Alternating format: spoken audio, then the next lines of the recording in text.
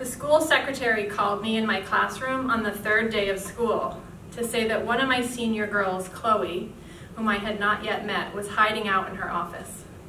Chloe had been trying to come to my English class, which met first period, but the first two days of school, she had only made it to the hallway outside of my room before she panicked and turned around. Chloe was too anxious to walk into my room, which was a large class of seniors. I walked up to the office to introduce myself to her and walked her down to my classroom. On the way, I promised her that we would make a plan to make this class work for her. I told her that I had anxiety too, and that one of the things that helped me was always sitting near an exit. So I offered her a seat right next to the door and reminded her to breathe.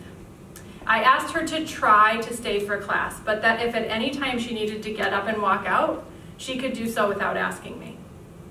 She settled in. I never called on her or did anything to draw attention to her that day. Chloe stayed for class and came back the next day. As the weeks went on, her body language became more relaxed. As I always do, I found opportunities in my class to do mental health check-ins and to use the books that we read to talk about mental health. By the end of the quarter, she blended in with the rest of the class, worked in small groups, shared herself with me through her writing, and even spoke in class discussions. She got help with anxiety from a counselor, thrived in my class, and graduated that June. This story about Chloe is a total manifestation of the line, be the person you needed when you were young. If I had had a teacher who normalized anxiety for me when I was a kid, I could have avoided so much suffering. Social and emotional learning, or SEL, is an incredibly important part of the work we all do as teachers. Whether we call it SEL or not, whether we call it teaching the whole child or not, good teachers embed social and emotional work into all that we do. And this is good. We need to be paying attention to our kids' feelings, otherwise we can't meet our academic goals or even get them into the classroom door. SEL was formalized in the 90s and is now commonly incorporated into all schools, K through 12. In 2021, the Collaboration for Academic, Social, and Emotional Learning, or CASEL, was added to the Maine learning results, and it includes five areas that schools are asked to address with students. Self-awareness, self-management, responsible decision-making, relationship skills, and social awareness. These are called the CASEL 5. SEL was designed to be proactive and preventative. We take care of our kids' social and emotional needs to prevent mental illness and to help them be healthy humans, to succeed in school and in life. Humor me here as an English teacher, let me use a good metaphor. SEL is proactive in the way that forest fire prevention tends to the forest to keep them from catching a blaze. But anyone in the classroom knows our kids' mental health is really suffering now more than ever. There are flames everywhere. We also need to keep, teach kids what to do once they are on fire.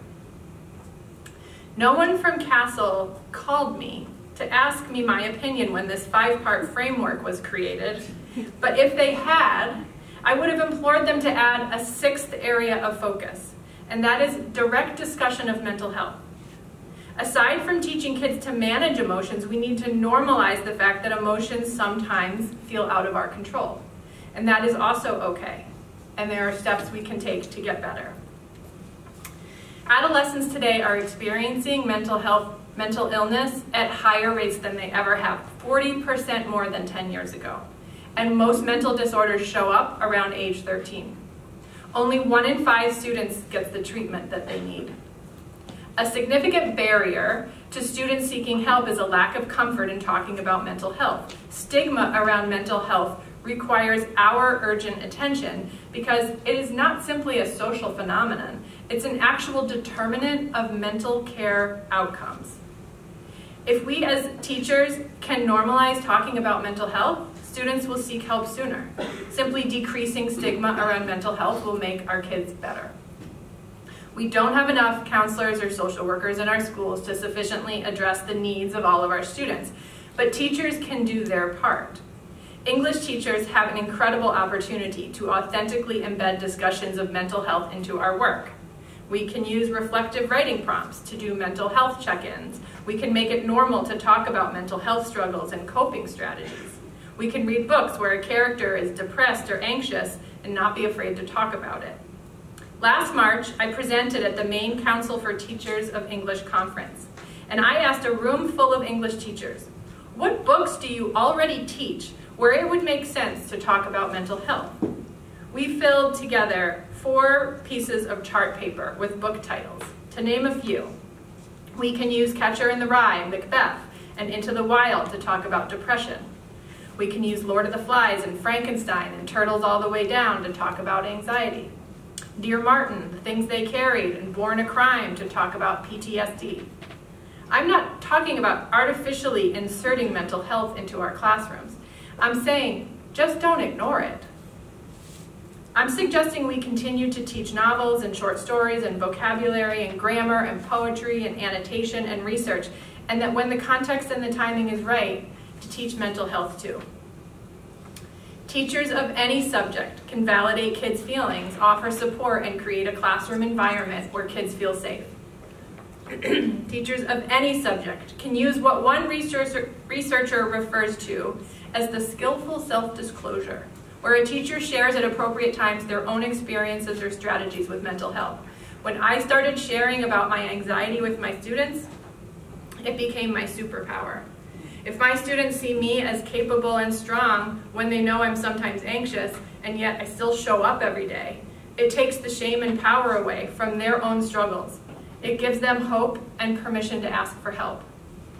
Teaching about feelings and mental health should not be happening in separate pull-out programs or in special assemblies. Teenagers especially find this artificial. Tell your high schoolers that you're going to do SEL and their eyes will collectively roll. Integrate these lessons authentically into what you are doing in class and they eat it up. Teenagers love to share their feelings and opinions. One of my favorite ways to describe the adolescent brain that I came across in my reading is tumultuous but malleable. That means that at this tender and vulnerable stage, teenage brains can be shaped. Teachers can help them become more empathetic of others' experiences, and most importantly, we can help them be empathetic of themselves. When I met Chloe at the beginning of that school year, she did not need forest fire prevention strategies. She needed help putting her fire out. She needed an environment where even though she was feeling distress, she felt safe and seen. And she needed to be reminded that after the fires go out, new growth occurs and healthy forests return. I have taught 100 Chloes over the years. If you're in a classroom, help kids by normalizing mental health discussions. And if you're a supporter of education, help people in the community understand that SEL and talking about mental health does not need to be something radical, political, or separate from what good teachers already do. It's simply the way we meet our kids at the door.